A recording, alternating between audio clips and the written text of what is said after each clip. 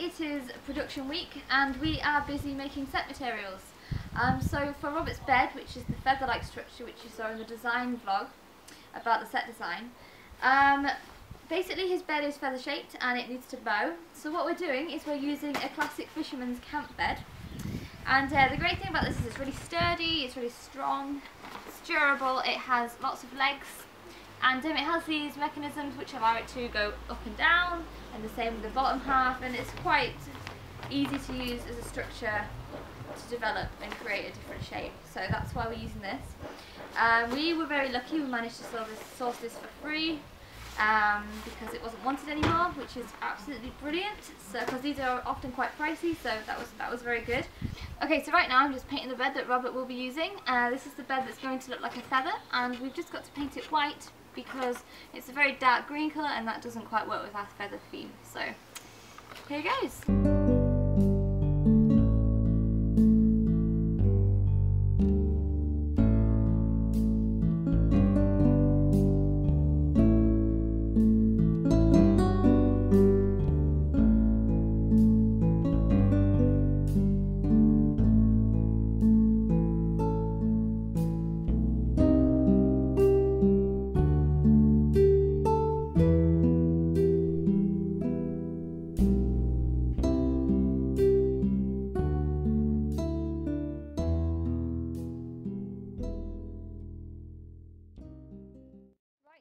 My job is to work out the bed. Um, this is how it's progressing.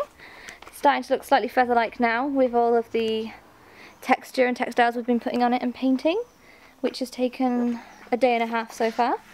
Um, and we're just working on this mechanism up here to try and make the installations type appearance in the bed. So we're going to see how it progresses. Okay, so um, as you can see here, we've used lots and lots of different fabrics, um, lots and lots of different types of textures. We've just painted over it, as you can see it's still wet. We've used a glue gun and we've just attached it all down and it is pretty strong. Um, so to follow that, we have got this mechanism here, which is all kind of one big experiment. And um, we've got a broomstick um, handle here, which is metal. So it's really strong and it works and it's also white, which is really convenient.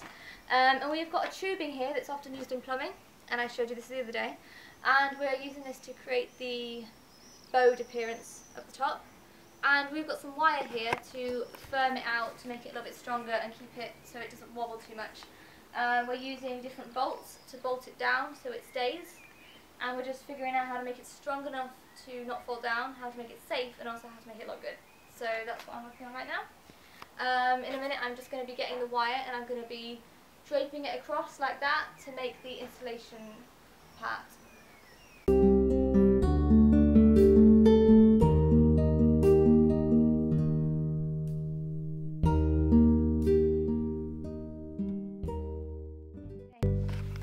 I'm about to put the final final paintbrushes onto this bed and then I think we're done with painting and decorating it and that means that we only have the um, the frame to finish and then we're done.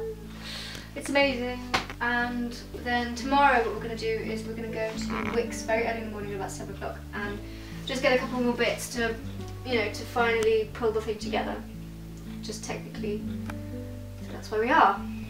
So this is the finished bed. It looks like, I hope it looks like a huge feather. Um, Maria is applying lots of paint to whiten it up a little bit. Um, as you saw before, lots of texture here, lots of paint, lots of fabric, um, lots of just texturing and playing around and experimenting. Yeah.